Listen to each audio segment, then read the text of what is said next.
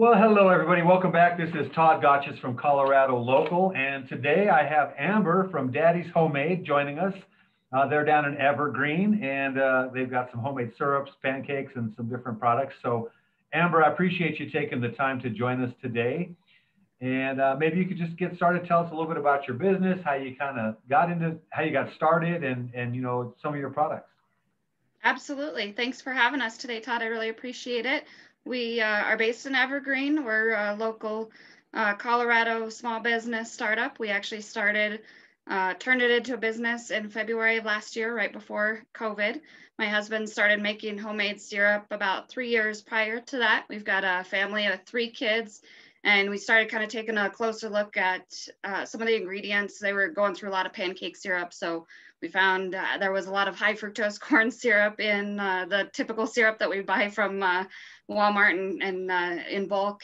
Right. And we uh, some health issues caused us to kind of re step back and see what else we could do. So my husband decided that he could make some homemade stuff that would be a little bit better. There's no high fructose corn syrup, no preservatives, no artificial ingredients and uh, then he decided to experiment with some flavors. So we have uh, we we're we're deciding to do some seasonal flavors now. Um, we have I think 10, 10 flavors in four different sizes typically, and then we also add some extra flavors in there as well. Uh, we're very big on on community and helping uh, the environment as well. So we have all of our um, products come in glass jars to help the environment and uh, we encourage community related uh, stuff. We at some of our events we um, have encouraged food donations for local food banks and mountain backpacks and some different programs to try to kind of work together to help everybody out. Oh, that's awesome. Well, how do people get? Uh, do you have a store, or how do how are people getting your products right now?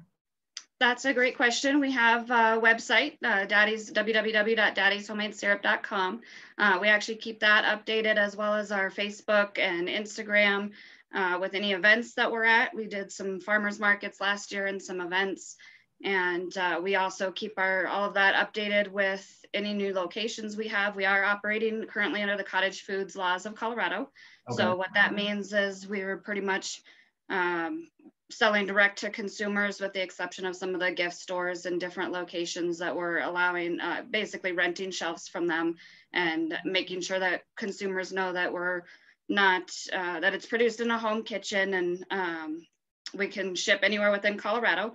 So on our website is the best place and our social medias to keep an eye on what events we might be at in person. Uh, of course, order online or um, also keep an eye on what locations we might have some products at as well. Sure. And so you say you can uh, you can deliver. Is it only in Colorado now that you can ship to? Correct. Now we have had a lot of people that, uh, especially around the holidays, that like to buy some of our products and ship it out themselves to friends and family, um, and that kind of thing. And that's worked really great for some unique Colorado-made gifts for some people that they know in other locations besides Colorado. Sure, that and that makes a lot of sense. So they order it from you, and then they can do whatever they want. What's the turnaround time? If you're going to go order, let's say you went order today, uh, would you get it in about a week or so? Uh, yeah, usually an average of a week by the time we make it uh, fresh batches. And then uh, a lot of, sometimes it's uh, sooner than that. Um, we actually also have been starting to get some larger orders as well for uh, you know gift ideas for clients customers staff different things like that. So of course the larger uh, orders do take a little bit longer sometimes and if it's somewhere uh, kind of within the vicinity of evergreen area we do uh, free deliveries as well. Oh that's great. Or could somebody come and pick it up from you if they wanted to do that? Yeah we can arrange that as well or meet people or uh, you know small business, we kind of go with the flow and, and do whatever we can do to help people out and make sure that they can get our products easily. Yeah, awesome. That's really the benefit of being a local business and, and, and having that personal touch. So I think that's great. And we're going to put all this information with this video. So we'll put your website and uh, do you have a phone number you want people to be able to call you at as well?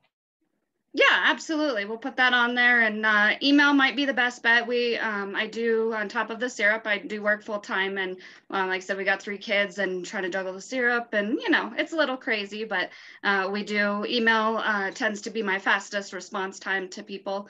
Uh, we do want to make sure that we provide that best uh, customer service that we can for everybody and make sure they get their questions answered or anything that they might need right away. That's awesome. Well, I think it sounds like you got a pretty good thing going down there And uh, like I said, we're going to put all the contact information down there. So hopefully we can get some people buying some syrup and uh, and being a little bit healthy about it, right? Absolutely. That sounds great. And I forgot to mention too, Todd, we actually started on our breakfast foods. Uh, we found that since it doesn't have any of that uh, artificial stuff, junk in it, we have been actually, it's a little bit thinner consistency than your typical pancake syrup. So we've actually been putting it in our coffees, baked goods, desserts. You can use it. The, the possibilities are endless for, for the syrups and the unique flavors that we've been creating. It, it, we've been trying it on just about everything. Wow, actually, that sounds really good. I'm going to have to get online and order some, and and hopefully we'll be able to get some people down there. But Amber, I really appreciate you taking the time. Is there anything else you'd like to say before we wrap this up?